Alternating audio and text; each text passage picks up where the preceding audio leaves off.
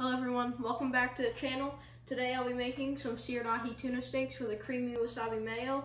These are going to be so delicious, so let's get started.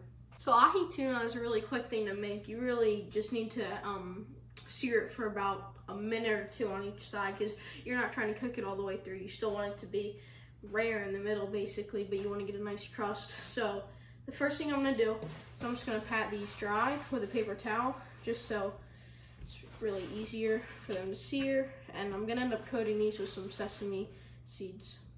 So now that we've taken off the slimy juices of the tuna, we can go on with some vegetable oil. This is gonna help the sesame seeds stick.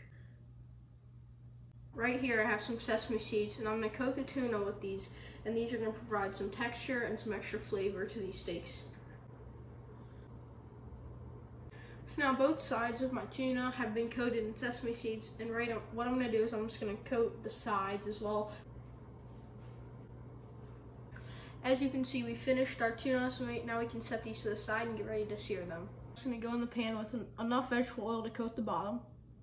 And like I said earlier, these are only to take one or two minutes, and basically what you're looking for is to get that nice crust and just a little bit of cooking on the bottom and really each side. But what I'm gonna do is I'm gonna go ahead and turn this pan on to a medium high. So my pan has come up to heat, so I'm just gonna drop these in and let these cook through. And remember, don't cook these for too long. I know I've said it a lot, but it's not gonna hurt to eat a little bit of rare tuna. That's how it's supposed to be eaten. So I'm gonna let these go for about a minute and two, two minutes. After a quick minute and a half, these are ready to flip.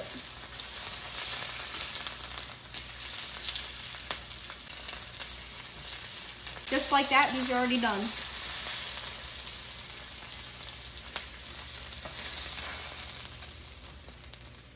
These tunas are looking so beautiful, but we're not done yet because we have to make this wasabi mayo.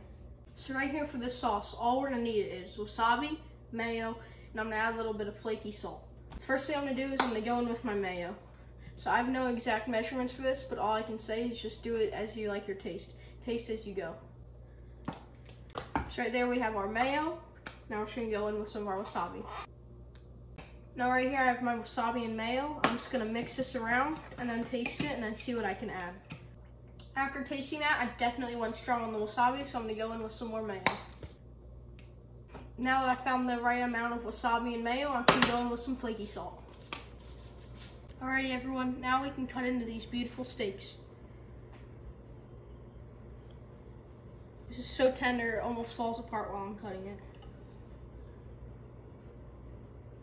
Beautiful pink center, that's exactly what you want when you're making this.